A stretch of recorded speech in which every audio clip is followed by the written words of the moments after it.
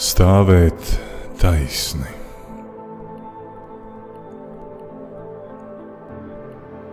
Ar pleciem atpakaļ.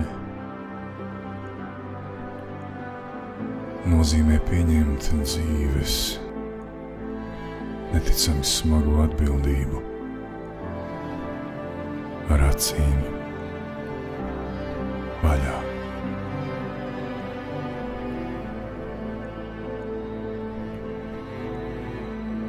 Tas nozīmē atzīt to, ka esi neaizsargāts.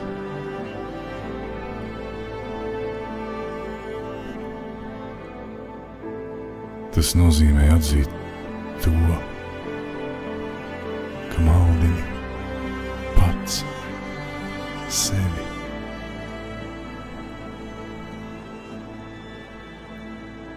Tas nozīmē pieņemt, ka esi kļūdījies un nereizi vien.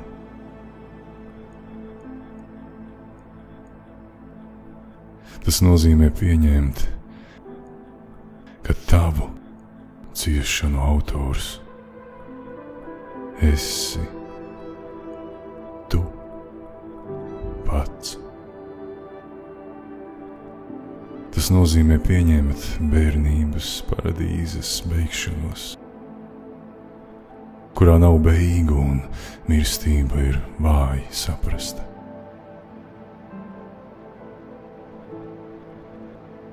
Tas nozīmē brīvprātīgi ļaut tavam haosam pārtapt apdzīvojamā kārtībā.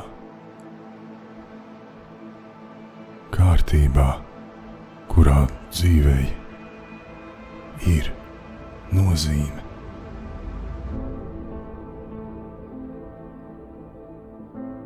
Tas nozīmē labprātīgi uzņemties upurus, kas ir nepieciešami, lai radītu auglīgu un jēgpilnu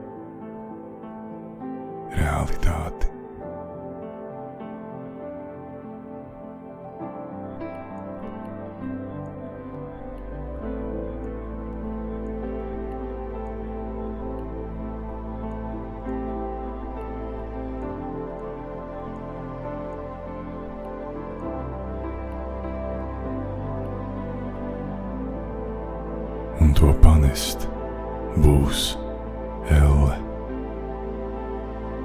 Bet neviens koks nespēja augt pretī debesīm, ja tās saknes nevijas ellē.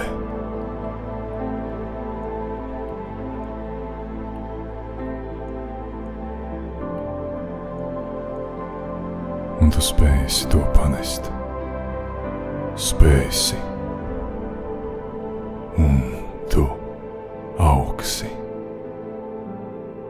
pretī gaismai.